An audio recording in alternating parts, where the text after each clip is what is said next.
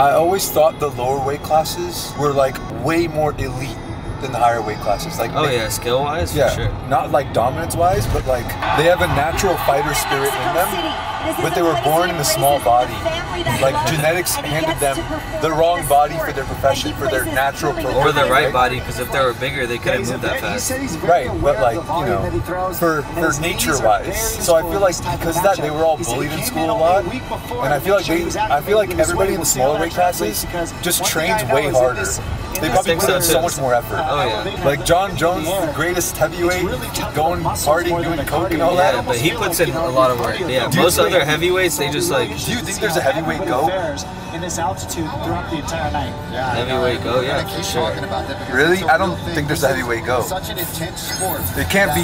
I, I don't think it can be DC because. It's not. It's definitely not. Yeah, I don't think it can be Jon Jones. Honestly, because it has to. PEDs. It has to. Hands down. And and I think he lost to Dominick Reyes, and Dominick Reyes is a bum. I don't think it can be N- Ngannou because I think Ngannou should fight Jon Jones, oh, and Oh, yeah. that would determine who's the greatest. Oh, yeah. Honestly, if Jon Jones beats Ngannou, that would mitigate the PEDs. He's just the most well-rounded. Any guy you put him against, no one has the gra- no heavyweight could grapple like Jon Jones. I just want to see him versus Ngannou. Makes it so that you can't use your combination. Yo, he just manhandled him. Yeah. Uh, Lauren Murphy is actually kind of more attractive than when she started this fight. Guest commentator Leon Edwards to give us his takes on the fight so far.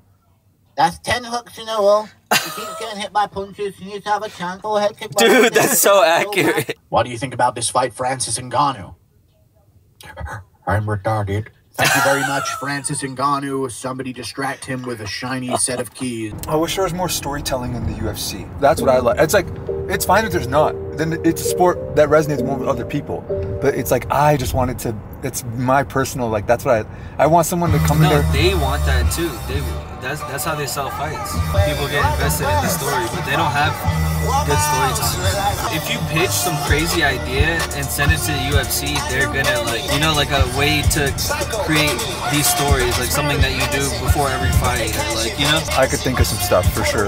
The easy way to, to make fights have story that you don't actually need to put in any effort is racial tension. Look at all the top like Yeah, fights. yeah, yeah, that's for sure. Yeah, that's simple. Easy way to make a bunch of money. That's not But like, like- I'd want like, There should be a better way. like okay, Jon Jones. I feel like would have been a really good villain, right? But it's like when the footage of him getting arrested, he's like crying and all that to the cop, and I'm like, this is.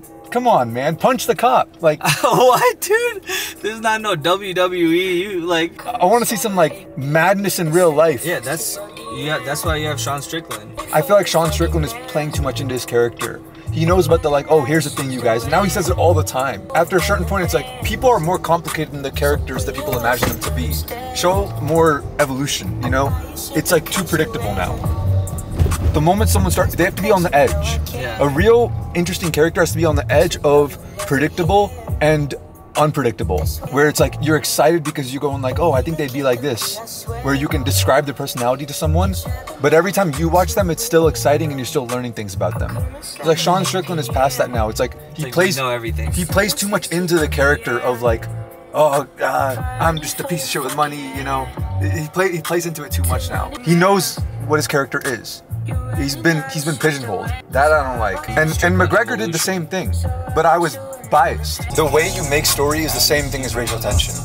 Like that seems like a bad way to make story for obvious reasons, but the reason why it sells is because the people watching have already crafted a story in their head based on which side they're on. But you have to make people have something worth fighting for.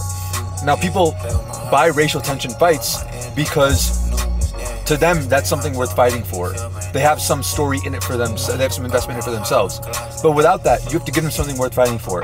Like Joe Frazier versus Muhammad Ali. A question of in the beginning it started off as a question of joining the military draft. And Muhammad Ali was like, "No, I'm not going to fight for this country, you know, that doesn't respect us." And then it became a thing of nationalism. Both sides have to have something worth fighting for that goes against the other side. That's how you tell a story. You need to be able to look at them and go, "This person is fighting for this cause, this person's fighting for that cause."